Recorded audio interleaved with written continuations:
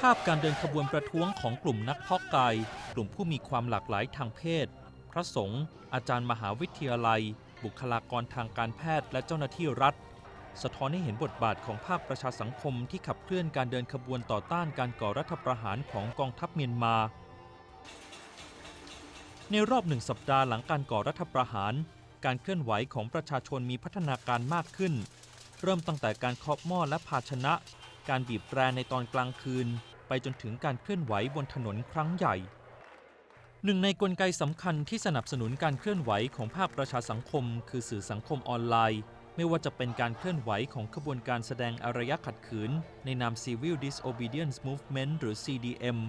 และการพูดคุยแลกเปลี่ยนข้อมูลข่าวสาร บน Twitter และ Facebook บทบาทของภาคประชาสังคมที่ฉายชัด กลายเป็นหนึ่งในตัวแปรสำคัญต่อการตัดสินใจของกองทัพในการจัดการกับกลุ่มผู้ประท้วง กลุ่มเหล่านี้เนี่ยก็เริ่มสร้างเครือข่าย เริ่มมีการรวมตัว มีกิจกรรมร่วมกัน ติดต่อสัมพันธ์กันอยู่ตลอดเวลา ผมมองว่าการเกิดขึ้นแบบนี้ที่มันพัฒนาตัวเองมาในช่วง 10 ปีที่ผ่านมาเนี่ยนะครับ มันทำให้กลุ่มที่ออกประท้วงมันมีความหลากหลายมากกว่ามากมากกว่าสมัยปี 1988 มากกว่านั้นนะเพราะฉะนั้นเนี่ยการที่รัฐบาลจะตัดสินใจใช้วิธีเดิมเนี่ยนะครับ กับ กลุ่มที่มันมีความหลากหลายและไม่มีพลวัตมีเครือข่ายที่ที่มันกว้างขวางขนาดนี้ผมคิดว่าเป็นสิ่งที่สิ่งที่ไม่ง่ายนะครับขณะที่ท่าทีของกลุ่มชาติพันธุ์ก็มีความสำคัญไม่น้อย หลังจากเมื่อวันที่ 2 กุมภาพันธ์ สภากอบผู้รัฐชานสาภาพแห่งชาติกะเหรี่ยง และคณะทำงานกระบวนการเจรจาสันติภาพของกองกำลังติดอาวุธ 10 กลุ่ม ที่ลงนามในข้อตกลงหยุดยิง ออกแถลงการย้ำจุดยืนต่อต้านการยึดอำนาจ แม้ว่าบางกลุ่มไม่ได้ชื่นชอบองซานซูจี และพรรค NLD เนื่องจากกระบวนการเจรจาสันติภาพภายใต้การนำของซูจียังไม่มีความคืบหน้า แต่การปกครองภายใต้รัฐบาลทหารของพลเอกอาวุโสมินอองไลอาจยิ่งปิดประตูกระบวนการเจรจาสันติภาพ เนื่องจากกองทัพยึดมั่นในหลักการป้องกันไม่ให้สหภาพแตกแยก และรักษาอำนาจอธิปไตยของชาติ เรื่องนี้ยิ่งส่งผลให้การทำตามเป้าหมายของกลุ่มชาติพันธุ์ ในการปกครองแบบสหพันธรัฐเป็นไปได้ยากมากขึ้น ต่อมาในวันที่ 4 กุมภาพันธ์ กองกำลังกลุ่มชาติพันธุ์กลับมามีท่าทีพร้อมจะเดินหน้ากระบวนการสันติภาพกับรัฐบาลทหาร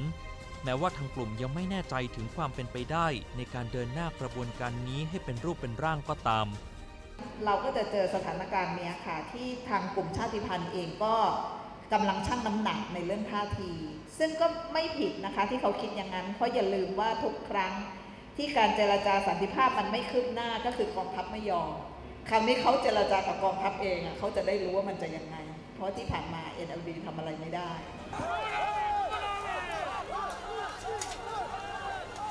ความไม่พอใจของมวลชนต่อการยึดอำนาจจากรัฐบาลพลเรือนยิ่งทวีความรุนแรงมากขึ้น หลังจากตำรวจใช้ความรุนแรงกับกลุ่มผู้ประท้วง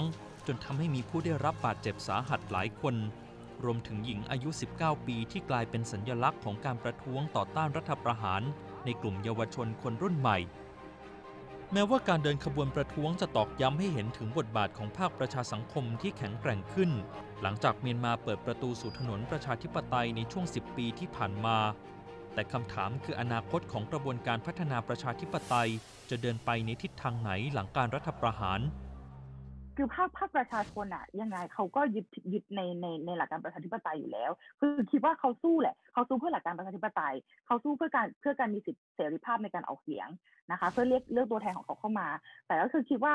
คือด้วยด้วยคนส่วนใหญ่แล้วนะคะ ก็ยังยังคงต้องการเอ่อการยึดเหนี่ยว หรือว่าเป็นตัวแทนที่เป็นพลังเสียงที่เวลาพูดแล้วแบบทุกคนจะฟัง